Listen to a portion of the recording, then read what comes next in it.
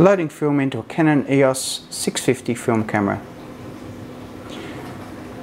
The first step with all film cameras is to check to see if it's already got film in it.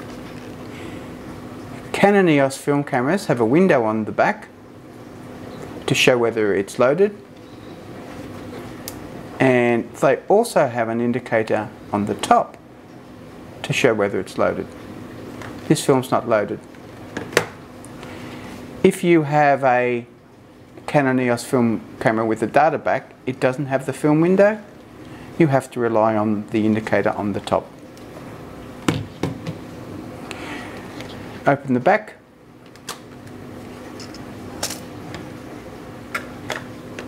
Open your film.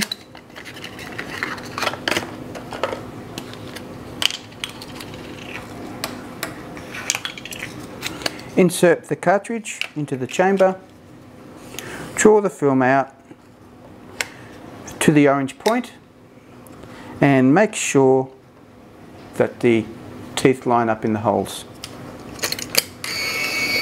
Close the camera. There's the indicator, the little snail, to show that it's got a cartridge loaded. Three bars there mean that the film has loaded correctly. If the film didn't load correctly, those three bars would be flashing.